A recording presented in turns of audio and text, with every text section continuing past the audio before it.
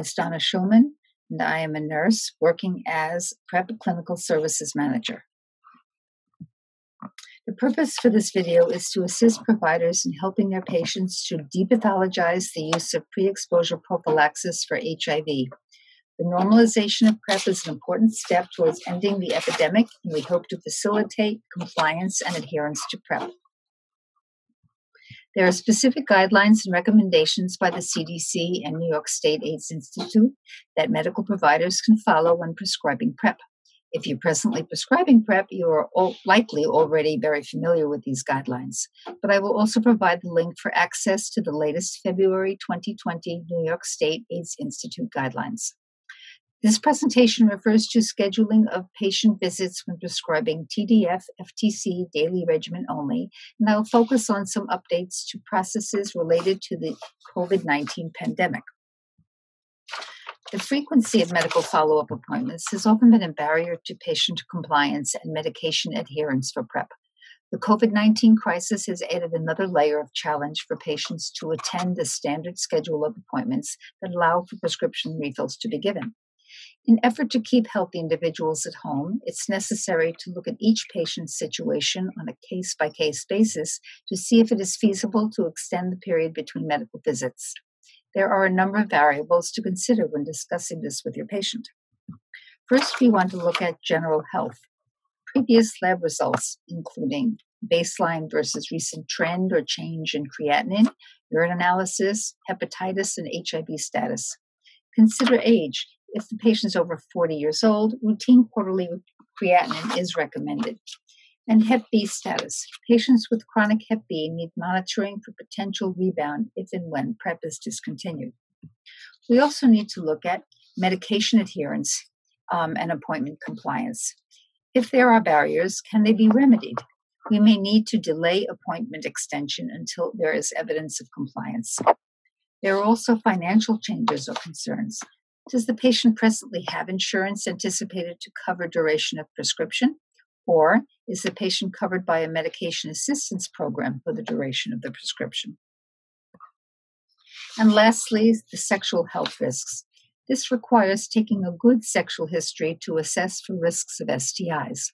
The framework for taking a sexual history is available in appendices of the updated clinical guidelines.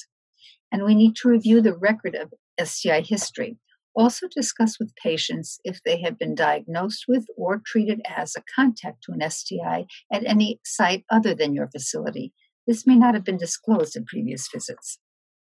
As a general statement, if a patient is in good general health and medication adherent without financial challenges that impact PrEP prescriptions and has no elevated STI health risks, they may be a good candidate for extended duration between medical visits.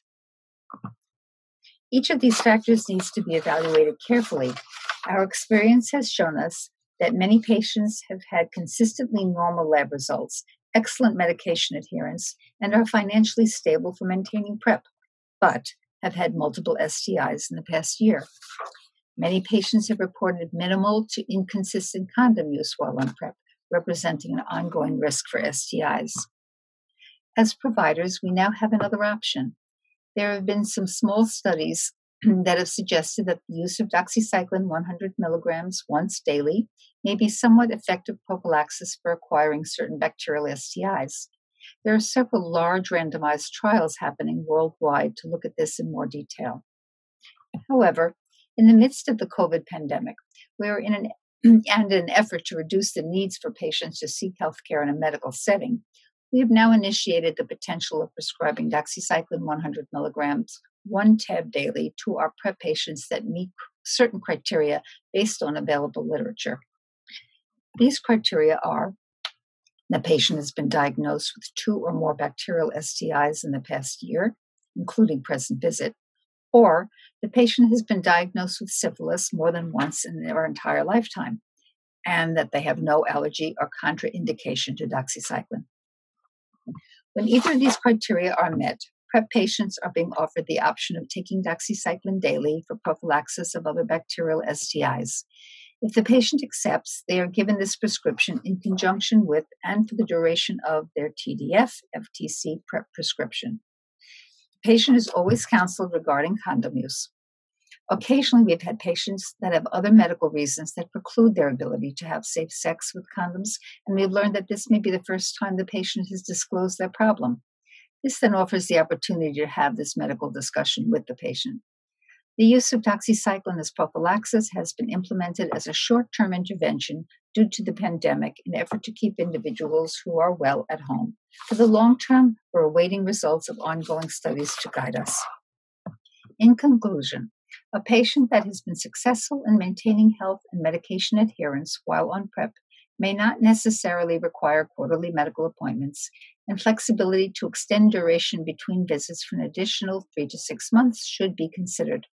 Those patients that are at higher risk for STIs based on the aforementioned criteria may benefit from prophylaxis with daily doxycycline with routine quarterly scheduled testing. References for articles on doxycycline prophylaxis are provided here, as well as references for the New York State AIDS Institute guidelines that include the appendices and checklists and the framework for taking sexual history.